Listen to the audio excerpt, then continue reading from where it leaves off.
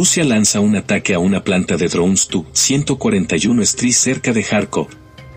Rusia lanzó un ataque a una planta de drones Tu-141 Stris cerca de Kharkov, en el norte de Ucrania, comunicó el Ministerio de Defensa ruso. En el área de Kharkov, fueron destruidas las naves de una planta aeronáutica que realizaban mantenimiento y ensayos de drones ucranianos de propulsión a Chorrestris, afirmó el portavoz de defensa, Igor Konasenkov.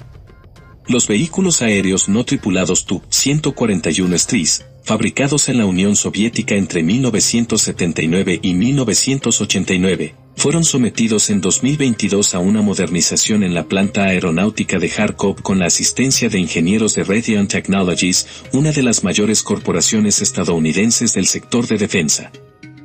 Además, Enente destacó que las tropas rusas extendieron su control a dos barrios del oeste de Artyomovsk, Bakhmut. En la línea de Donetsk, las unidades de asalto liberaron dos barrios del oeste de Artyomovsk.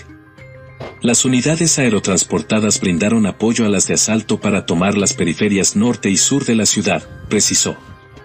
Conocida durante décadas como Artyomovsk y aún llamada así en Rusia, la ciudad de Bakhmut es desde hace meses un foco de cruentos combates por su importancia para el aprovisionamiento de las tropas ucranianas en el Donbass. Se encuentra al norte de Gorlovka, en una zona de la República Popular de Donetsk controlada actualmente por Kiev. A principios de este abril, en la ciudad permanecían varios miles de civiles, según el jefe en funciones de la República de Donetsk, Denis Pusilin.